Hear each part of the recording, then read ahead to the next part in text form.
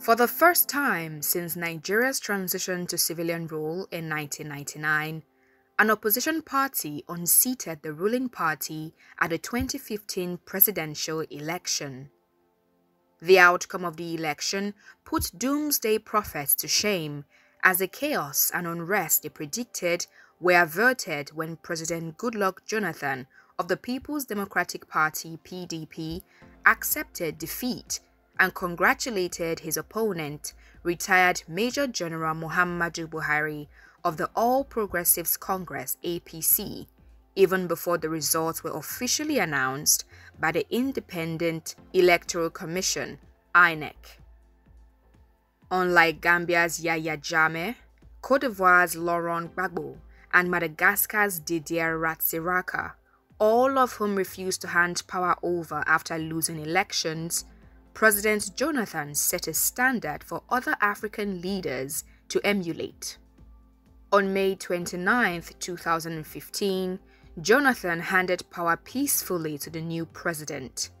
He had refused to toe the path of violence, demanding a re election process or overturning the election results, which might have thrown the country into chaos or a military takeover.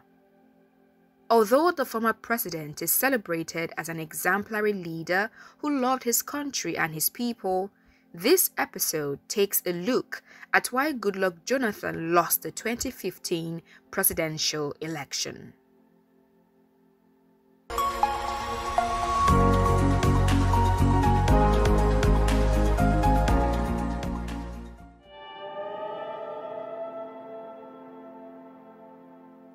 The 2015 presidential election in Nigeria, which was the fifth since 1999, marked a significant turn in the country's democratic history.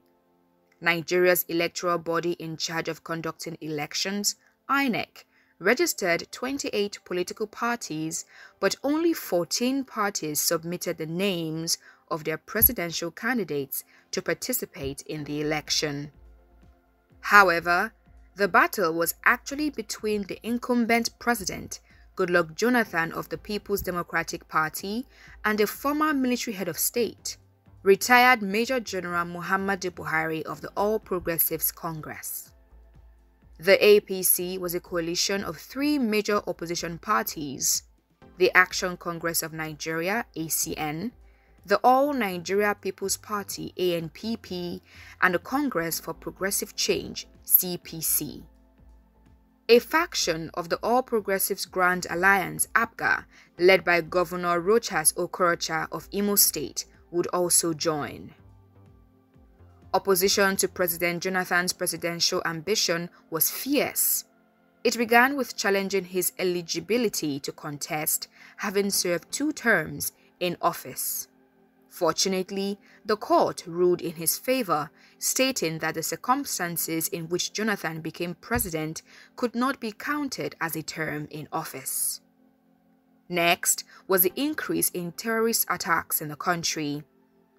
Boko Haram insurgents were relentless as they attacked villages, kidnapping and raping women and killing men. Also, five serving governors, alongside one third of members of both the Senate and House of Representatives, defected from the PDP to the APC. Former President Olusegun Obasanjo was not left out of the debacle as a letter he had written to President Jonathan challenging his candidacy was leaked. He also resigned from the PDP, tore his party card, and described the party as useless.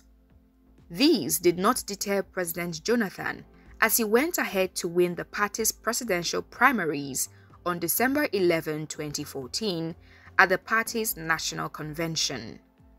He retained his vice president, Namadi Sambo, as his running mate. Meanwhile, the APC also held its national convention, producing Muhammadu Buhari as its presidential candidate and Professor Yemi Osinbajo as his running mate. In preparation for the elections, INEC carried out a continuous voters registration exercise to build on the 2011 biometric voters register which began in 2014 across the country. The electoral body also introduced the permanent voters card and electronic card reading system to significantly reduce electoral malpractices such as fraud, vote buying, multiple of fake registration and voting, and inflating figures. By February of the next year, when the elections were scheduled to hold, only 76% of the populace had been issued their PVCs, and this led to the postponement of the election for six weeks to enable more voters to obtain their PVCs. Another reason for INEC's postponement of the elections was the military's withdrawal of its support for the February 14 election date and to improve the security situation, which yielded results as most areas being controlled by Boko Haram were recaptured. The D Day arrived and voters trooped out in their numbers to various polling units to choose the next set of leaders at the National Assembly and the next president of the country. PVCs and biometric card readers tackled the problem of electoral fraud, though there were minor technical issues with the card readers in some polling units. Surprisingly, the expected violence was non existent and at a bare minimum. Thus, the election has been described as one of the most successful, credible, and peaceful elections the country has ever had. Earlier, President Jonathan had signed the Accord Agreement with other candidates to ensure peaceful conduct by the electorates and the parties during and after the elections. This way, national interest was placed above that of self. Although hiccups in the election include the late arrival of electoral officers and election materials to polling units, the number of petitions rejecting the results of the election was low compared to previous elections conducted in the country, especially the 2011 elections. After due calculations of the results, on April 1, 2015, INEC chairman Professor Atahiru Jega announced Muhammadu Buhari as the winner of the presidential election. While the APC polled 53.96% of the total votes cast, the PDP polled 44.96%. The APC also won a majority of the governorship elections and seats in the National Assembly, bringing the dominance of the PDP over the national legislature to an end. Remarkably, this was the first time since the beginning of the Fourth Republic in 1999 that power would alternate between political parties at the national level. In a show of excellent sportsmanship, President Jonathan admitted defeat and congratulated the newly elected president on his victory.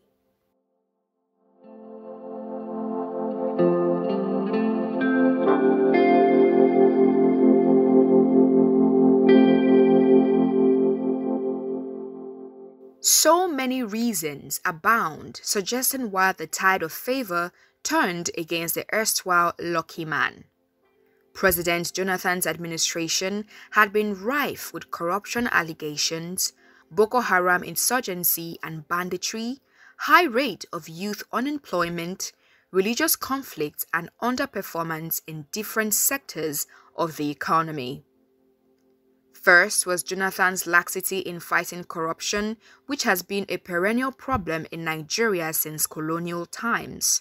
However, President Jonathan was not firm in his fight against it during his administration, and he seemed to turn a blind eye to the looting and corrupt practices which took place. Nigerians had been groaning and were utterly dissatisfied with the government. This allowed the opposition to criticize every move made and promise that things would be handled differently if they were to be given power. The APC harped on the failure of the government to fulfill campaign promises and convinced the electorate of the need for a change. In fact, that was a slogan used to win the hearts of the people change. Another supposed reason for President Jonathan's defeat was a low turnout of voters compared to the 2011 elections. This was as a result of heightened insecurity, especially in the northern part of the country, due to Boko Haram attacks, and people were also afraid for their lives, thinking the outcome of the election, if not favorable to either party, could lead to riots and killings. Some also believed that their votes do not count, as the results were already known beforehand, so they did not vote at all. The PDP's internal crisis also contributed to Jonathan's loss at the polls, and it is very likely that some members may have worked against the interest of the party during the election. There were claims of a purported agreement allegedly signed by President Jonathan stating that he would not run in 2015, but he denied such claims and insisted on contesting. This invariably weakened the party as some leading figures made their way to opposition parties. Former President Olusegun Obasanjo, who was a major player in the PDP, also caused a scene when he tore the party's card and resigned from the party. The PDP also lost control of some key states due to the defection of their governors and so could not control the electoral processes there. An example is a fiasco that played out in Rivers State, where the returning officer, Vice Chancellor of the Federal University of Petroleum Resources, Professor John Etu Efeoto, couldn't correctly read the election results, which he had written himself.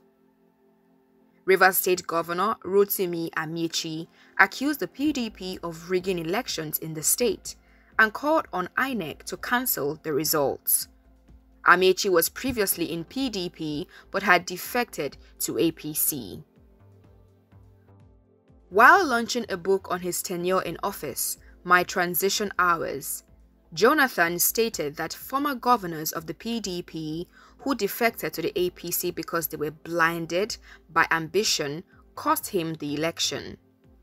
He also blamed the northern leaders who wanted to return power to the north for sabotaging his re election bid and the barrage of fake news that put him in a bad light.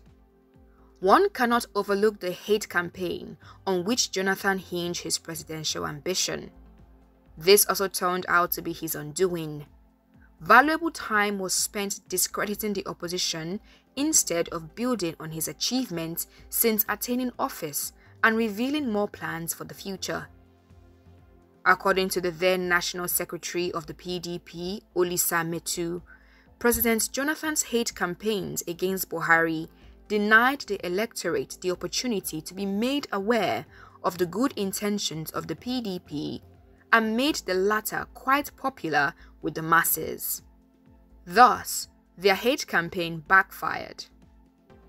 Most of the attacks were championed by his wife, Patience Jonathan, then governor of Ekiti State, Ayo Fayose, and Femi Fani Kayode, who was a spokesperson for Jonathan's campaign organization. Muhammadu Buhari's previous rule as head of state also gave him an edge over Jonathan.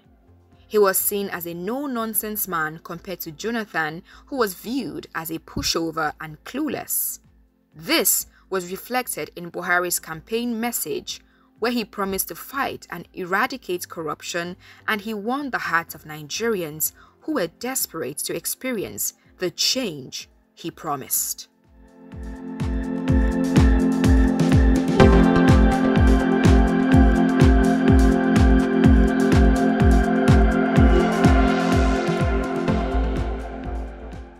Although President Jonathan had declared publicly while campaigning that he would only hand over power to a person younger than himself, he handed over to Muhammadu Buhari, who was 15 years older than him. His decision was seen as not only an honorable one, but also set a precedent for other African leaders to emulate. On one hand, Jonathan's supporters were traumatized and believed that he should not have given up without a fight. But on the other hand, his actions were applauded because a post election crisis was averted. Nigeria was saved from the brink of a catastrophe which would have plunged the country into war and her democracy was consolidated. Jonathan's actions raised the bar for a peaceful democratic transition and set a new standard for African leaders who are noted for always refusing to relinquish power. During his concession speech, the former president, who declared the election free and fair, said he considered defeat without a fight because he wanted to entrench the country's democracy. He added that his commitment to the protection of lives and investments of Nigerians, their assets, and the economy fueled his decision, which would avert the looming crisis. President Goodluck Jonathan even encouraged the PDP to celebrate and not mourn.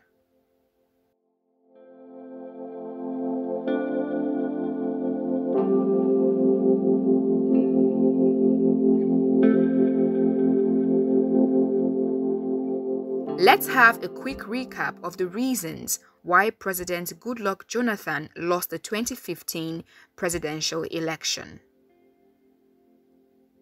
Jonathan's eligibility to contest was challenged, having been sworn in twice as president. The increasing Boko Haram insurgency in the country contributed to his defeat. His body language in the fight against corruption, seen as tolerating, was used as a tool to smear him during the campaigns. The defection of some PDP governors and many lawmakers in key states such as Kano and Rivers to the opposition party APC weakened his re-election bid. The attacks by his loyalists on Buhari created more sympathy for the retired general the popularity of Buhari in the north, and the desire of the northern leaders to get power back to the region. And finally, the low turnout of voters compared to the previous presidential election in 2011.